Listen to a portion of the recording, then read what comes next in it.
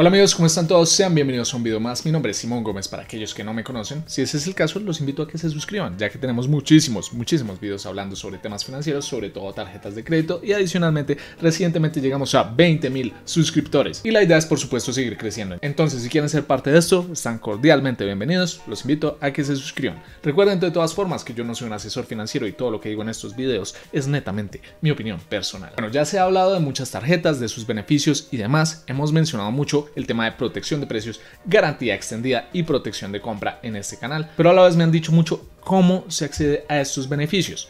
Yo todavía no había accedido a ellos hasta que hace poco menos de un mes inicié un reclamo por protección de precios, ya que encontré un artículo que compré en el último día sin IVA que hubo aquí en Colombia, unos cuantos días después, por una diferencia de 180 y tanto mil pesos, eh, y resulta que no es tan fácil hacer esto como parece. O sea, no es difícil, simplemente es como medio tedioso. O sea, de todas formas, las, las franquicias. En este caso, esta compra la había hecho con mi tarjeta Visa Platinum Light Miles. Eh, ya el proceso está cerrado, fue aprobado, todo bien, ya me consignaron la plata, inclusive.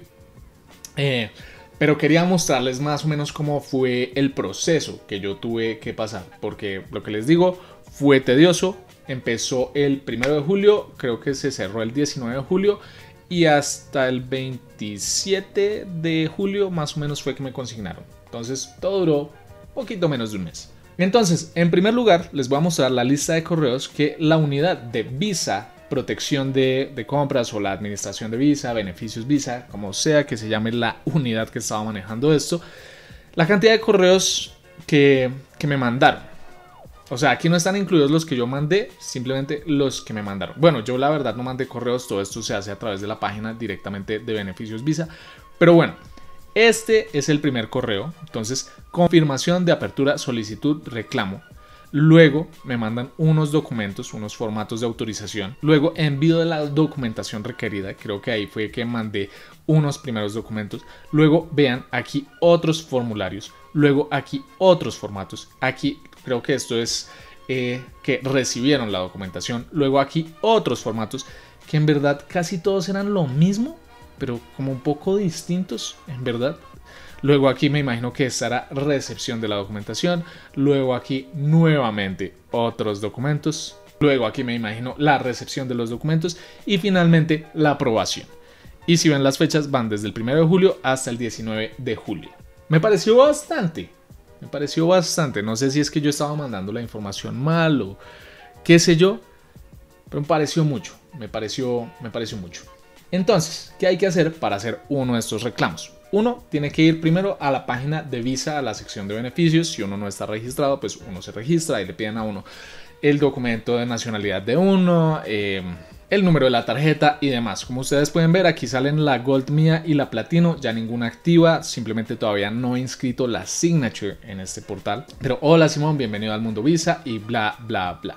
Entonces aquí estamos en Home, simplemente Home. Acá dice certificados generados, reclamos creados, reclamos en proceso porque ya está cerrado ese reclamo. Estos certificados simplemente son porque yo generé para la garantía extendida de los productos. En verdad es muy sencillo. Uno simplemente, uno simplemente con la factura de compra y demás eh, pone el producto. Simplemente me parece más difícil este proceso de la protección de precio. Entonces esto es lo que les quería mostrar. Nos muestra reclamo cerrado. Y aquí nos sale la historia de este reclamo. Entonces fecha de compra 17 de junio del 2022. Fue un monitor LG este es el modelo. La diferencia de precio fue de 181.200, o sea, no fue una diferencia así tan amplia, pero de todas maneras sí había diferencia y dije como, hey, ¿por qué no ver si, si, si, si funciona esto? Si a uno sí le dan la diferencia, si efectivamente esto funciona y de qué manera funciona. ¿Será que lo abonan a mi tarjeta o me lo consignan en mi cuenta? Spoiler alert, me lo consignaron en una cuenta y ya. Entonces vamos a ver qué es lo que pidieron. Entonces, vean, esto me imagino que es como el equivalente a todos los correos que me mandaron. Entonces, eh, pendiente presentación de la documentación pendiente. Adjunta la documentación necesaria para que podamos revisar tu reclamo. La documentación debe enviarse dentro de los 90 días posteriores al incidente. Esperando verificación de la documentación recibida. O sea, a ello llaman de documentación. En espera del envío de documentación solicitada al titular de la tarjeta. Me enviaron una nueva documentación pendiente de presentación de la documentación pendiente. Adjunta la documentación necesaria para que podamos revisar tu reclamo. La documentación debe enviarse dentro de 90 días. Esperando verificación de documentación recibida. Y así sucesivamente. Vean, nuevamente, en espera de verificación por parte del responsable. Es decir, me imagino que aquí ya aceptaron toda la documentación. Esperando verificación de la aseguradora, documentación verificada dependiente de aprobación por la compañía de seguros AIG, reclamo cerrado, que fue aprobado como ya les había dicho. Entonces, aquí la información sobre el incidente, básicamente fecha de compra, fecha cuando vi el anuncio ya nueva, el nuevo precio publicado, que yo compré por 1.880.999 y el nuevo precio anunciado era de 1.700.000, digamos, diferencia 181.202, moneda peso colombiano información bancaria donde me iban a consignar. Y bueno y por acá los disclaimers que uno tiene que aceptar y demás. Y bueno la página de beneficios no me deja mostrar como dónde es donde se sube el reclamo pero si nos vamos a leer los correos aquí nos dicen como qué es lo que hay que hacer como en caso tal de que alguien esté pasando por el mismo proceso. Entonces, este fue el primer correo de todos los que me mandaron. Entonces, a continuación le solicitamos que ingrese al portal de beneficios Visa y siga los pasos descriptos para, para, para adjuntar los documentos, ok, requeridos para procesar su, su reembolso. Entonces, iniciar sesión en la cuenta, accese a editar accese a editar perfil, tus reclamos y reclamos pendientes de su documentación, haga clic en adjuntar documento. Ahí sale el botón grandísimo además. Por favor tengan en cuenta que la documentación a los 90 días y ya. Y los primeros documentos que mandan son estos. Entonces, términos y condiciones de protección de precios. Esto es como la información que uno tiene que tener en cuenta y demás. Nada como que reenviar de ahí. Y aquí la información del reclamo. Aquí tiene por supuesto unos datos míos que no voy a dejar que se vean, pero pues ahí muestra más o menos cómo se ve la información. Y esto es lo primero que uno manda junto con copia del documento nacional de identidad, ya sea la cédula o el pasaporte, la factura de la compra original y un pantallazo que incluya la fecha de captura de cuando uno vio el nuevo anuncio del, comercio, donde uno, donde uno haya visto el artículo que compró con el precio distinto. Eso es como lo primero que piden. Luego, en un siguiente correo dice, de acuerdo a su comunicación recibida al 0207-2022, por favor encuentre bajo las instrucciones y el listado de documentos que solicitamos envíe para poder analizar su reclamo. La siguiente lista describe la documentación que deberá enviar dentro de los 90 días siguientes a la fecha del incidente. O sea que para el 30 de septiembre de 2022 ya lo tenía que tener enviado. Entonces, formulario de reclamo, formulario de transferencia electrónica de fondos, detalle del beneficio, información que necesita obtener sobre el beneficio que usted solicitó, checklist, lista de documentos necesarios. Entonces vean, aquí está el checklist, copia del estado de cuenta del tarjeta Visa en donde aparezca el cargo que muestra la compra del producto, o sea, adicionalmente como una copia del extracto. Copia del recibo de la tienda en el cual se especifique la compra del producto reclamado. Copia del anuncio publicitario que muestre el nombre de la tienda, fecha de inscripción del artículo y el precio publicado del producto reclamado. Copia de su documento nacional de identidad, lo que ya les había dicho, simplemente que pues fue en un correo adicional. Y vean los adjuntos.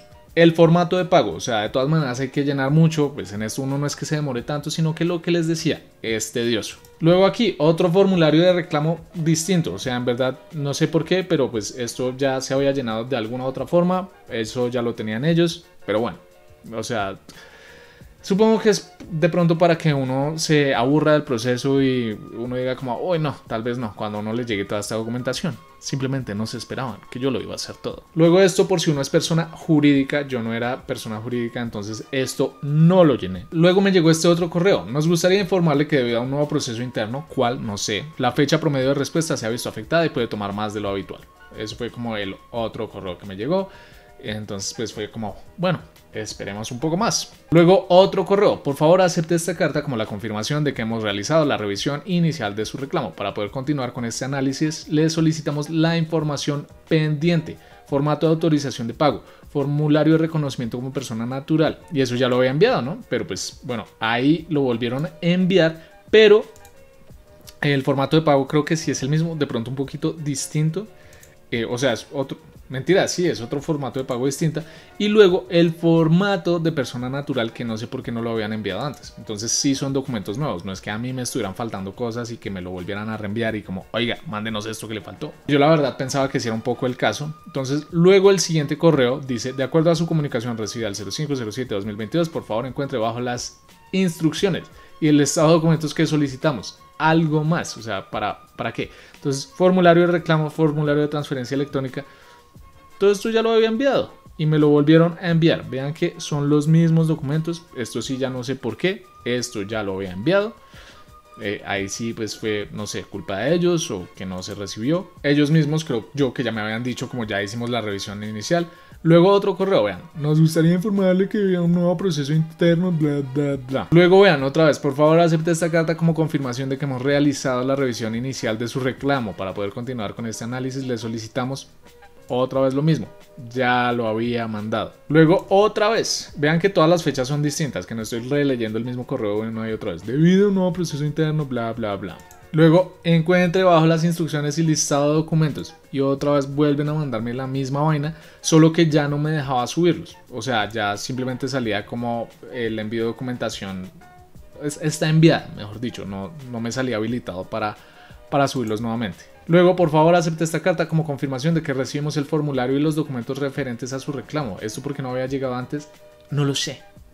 Honestamente, que no lo sé. Y finalmente, el correo que todos estábamos esperando, ya el primero de tantos, no sé cuántos fueron, pero tenemos el agrado de comunicarle que con fecha 19.07.2022 su reclamo ha sido aprobado por un monto total de 181.202 pesos. Si dentro de los siguientes 15 días de la aprobación de su reclamo usted no recibió el depósito en su cuenta bancaria, por favor responda a este correo para que posamos gracias a quien escribió esto, verificar el estado de la transacción. Gracias por utilizar los beneficios de Visa. Y ese fue el cierre. O sea, en verdad no es complicado, solo es tedioso. Es tedioso que manden una y otra vez lo mismo y uno sea como... Pero si ya, ya lo hice, ¿por qué? ¿Por qué? La cédula sí me acuerdo que me la pidieron como tres veces y mandé el mismo documento como las tres veces y siempre era como, eh, por favor, su cédula, nuevamente. No sé, no sé si no la agarraban, no la cogían, poco tedioso. No sé cómo sea con la franquicia Mastercard. Como pudieron ver, esto pues fue con la franquicia Visa. Pero se logró. Me abonaron los 181 mil pesos. Me robaron algún tiempo de la vida. Pero se pudo hacer. No sé qué tan claro haya sido este video. Me imagino que un poco raro, un poco confuso. Créanme, para mí el, el proceso fue bastante confuso. Pero es eso, no, no es complicado. Solo es como una burocracia ahí como interminable. Y nada, si yo hago más reclamos por ahí, créanme que se los estaré contando tan pronto los haga. Eh, ojalá de una forma más organizada, pero me parece que también fue por parte de Visa el desorden. No, no solo fui yo, no me echen la culpa solo a mí. No, no, no, señores, no voy a aceptar esto de su parte para nada. Amigos, no siendo más por el día de hoy, nos vemos a la próxima. Chao.